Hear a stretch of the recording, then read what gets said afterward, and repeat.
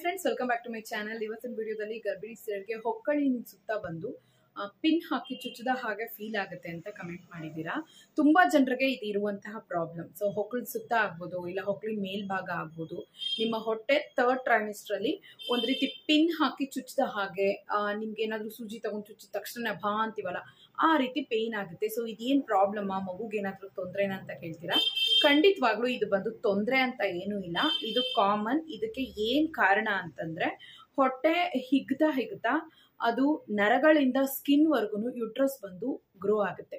ಒಳಗಡೆ ಇರುವಂತಹ ಗರ್ಭಕೋಶ ಎಕ್ಸ್ಪ್ಯಾಂಡ್ ಆಗ್ತಾ ಆಗ್ತಾ ನಿಮಗೆ ಹೊರಗಡೆ ಭಾಗ, ಏನು ಹೊಟ್ಟೆ ಮೇಲಿನ ಭಾಗ ಇದೆಯೋ ಅದು ಬಂದು ನಿಮಗೆ ಸ್ಟ್ರೆಚ್ ಆಗುತ್ತೆ. ಸೊ ಸ್ಟ್ರೆಚ್ ಆಗುವಂಥ ಸಮಯದಲ್ಲಿ ಇನ್ನೂ ಹಿಗ್ತಾ ಹಿಗ್ತಾ nervous to nerves to skin ಅಂತ ಹೇಳ್ತಾರೆ. ಸೊ ನರಗಳಿಂದ ನರಗಳಿಂದ ಚರ್ಮದವರೆಗೂ ಕೂಡ ಸ್ಕಿನ್ ಅನ್ನೋದು ಬಂದು ಸ್ಟ್ರೆಚಿ ಆಗುತ್ತೆ. ಸೊ ಈ ಕಾರಣದಿಂದನೇ ನಿಮಗೆ ಚುಚ್ಚಿದ ಹಾಗೆ ಫೀಲ್ ಆಗೋದು. ಸೊ ಇದು ಬಂದು ಹೆದರ್ಕೊಳ್ಳುವಂಥದ್ದಲ್ಲ ಇದು ಎಲ್ಲರಿಗೂ ಆಗುತ್ತೆ. ಸೊ ಮೇಯ್ನಾಗಿ ಸಂತೋಷ ಪಡಬೇಕಾಗಿರೋದು ಏನು ಅಂದರೆ ನಿಮ್ಮ ಮಗು ಚೆನ್ನಾಗಿ ಬೆಳೀತಾ ಇದೆ ನಿಮ್ಮ ಮಗು ಹೆಲ್ದಿಯಾಗಿ ಗ್ರೋತ್ ಆಗ್ತಾ ಇದೆ ಅಂತಾನೆ ಅರ್ಥ.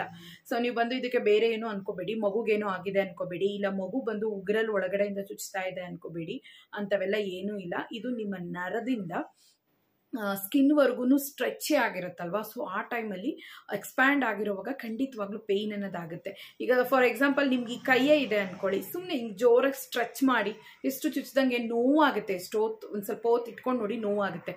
ಅದೇ ಥರನೇ ಹೊಟ್ಟೆನೂ ಕೂಡ ಸ್ಟ್ರೆಚ್ ಆಗೋವಾಗ, ಬೆಲ್ಲಿ ಗ್ರೋತ್ ಆಗೋವಾಗ ಈ ರೀತಿ ವಿಷಯಗಳು ನಡೆಯೋದು. ಸೊ, ಹೊಕ್ಲಿನ ಸುತ್ತ ನಡೆಯೋದು ಯಾಕೆ ಅಂತಂದರೆ ಮಗು ಗ್ರೋತ್ ಆಗ್ತಾ ಆಗ್ತಾ ಆ ಒಂದು ಭಾಗದಲ್ಲಿ, ಒಳಗಿನ ಭಾಗದಲ್ಲಿ ಗರ್ಭಕೋಶ ಹಿಗ್ತಾ ಇರುತ್ತೆ.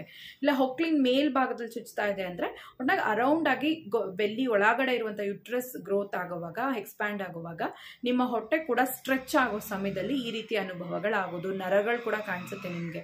ಸೊ ಕೆರ್ಕೋಬೇಡಿ, ಈ ಟೈಮಲ್ಲಿ ಸ್ಟ್ರೆಚ್ ಮಾರ್ಕ್ಸ್ ಎಲ್ಲ ಜಾಸ್ತಿ ಆಗೋದು, ಕೆರ್ಕೋಬೇಡಿ ಜಸ್ಟ್ ವಾಮ್ ವಾಟ್ರಲ್ಲಿ ವಾಶ್ ಮಾಡ್ಕೊಳ್ಳಿ ಅದಕ್ಕೆ ಕೆರ್ತ ಚುಚ್ಚಿದಂಗೆ ಆಯಿತು ಅಂದರೆ ಜಸ್ಟ್ ಆರಾಮಾಗಿರಿ, ಏನೂ ತೊಂದರೆ ಇಲ್ಲ.